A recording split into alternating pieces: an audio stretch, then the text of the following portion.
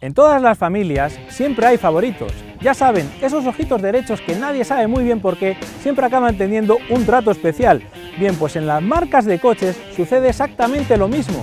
Si les digo que lo que tengo en la mano es la llave de un Mercedes, habrán adivinado que no se trata de uno cualquiera. Hoy en carandriver.es probamos el nuevo Clase E. Más de 40 años y 6 generaciones contemplan a un modelo que es sinónimo de avance.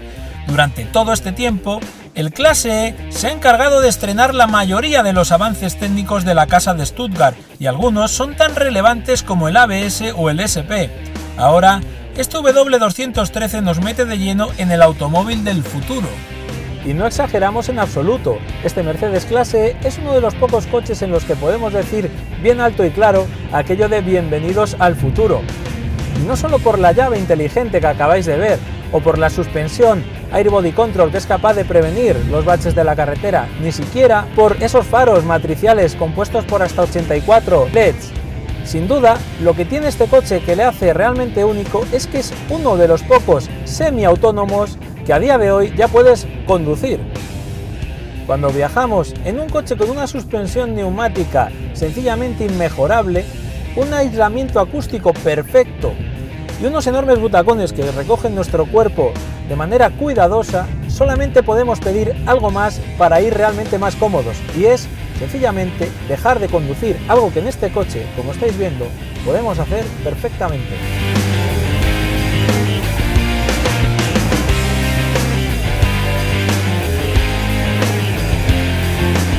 El sistema Drive Pilot te concede hasta 20 segundos de tranquilidad absoluta. Lo único que requiere de vez en cuando es tu atención, más que nada para recordarte estamos ante un asistente de la conducción. Esto quiere decir que él te asiste a ti y no al revés. Algo que cuando llevas cierto tiempo al volante de este coche, llegas incluso a cuestionarte.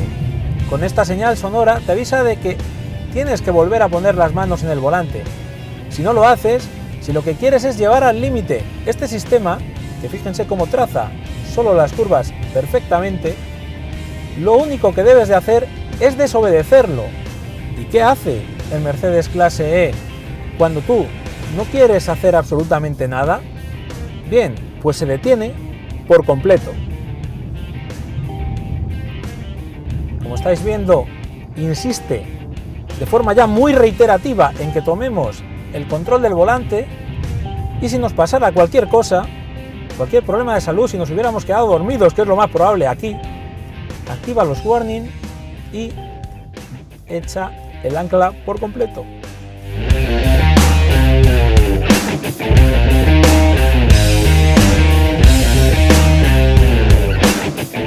Si hay una característica que define el funcionamiento de este coche a la perfección, esa es la suavidad. Agradecemos el funcionamiento de la dirección, del cambio y por supuesto de la suspensión neumática que comentábamos antes. Pero es verdad que en relación a su antecesor, este clase E, con sus diferentes modos de conducción, puede llegar a resultar bastante más dinámico en zonas de curvas como esta, y por otro lado, el nuevo motor 2.0 diésel ha conseguido reducir notablemente el consumo. A cambio, es verdad que echamos en falta un mayor refinamiento, más que nada para estar en armonía con el resto del conjunto. Tanto su sonoridad como su elasticidad son notablemente mejorables.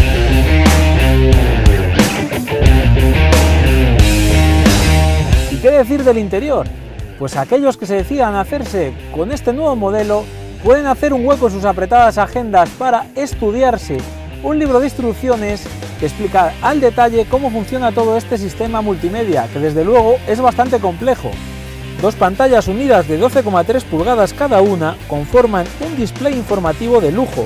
De un lado tenemos el cuadro de mandos, configurable hasta en tres vistas diferentes, y del otro la zona de infoentretenimiento. Por suerte para el conductor, desde el volante contamos con dos nuevos mandos táctiles que nos permiten manejar ambas pantallas de forma mucho más intuitiva. Entre las diferentes posibilidades de configuración que ofrece este modelo, destacan algunas como la iluminación interior, con una amplia paleta de colores y también con la posibilidad de aumentar o reducir la intensidad de la misma.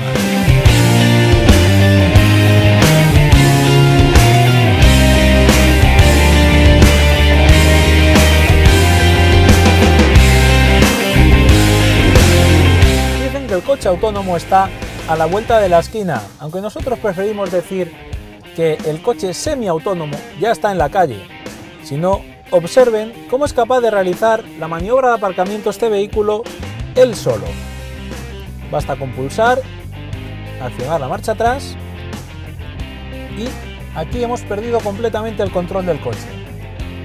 La pregunta es, ¿serán nuestros hijos o nuestros nietos los que se partan de risa rememorando vídeos como este, acostumbrados a viajar en sus máquinas perfectamente robotizadas? Lo veremos. En cualquier caso, a día de hoy, el mérito que tiene un vehículo como este es enorme y de hecho podríamos hacer esta misma maniobra desde fuera del coche a través de la aplicación de nuestro smartphone. Prometemos habernosla descargado para el próximo vídeo de carandriver.es.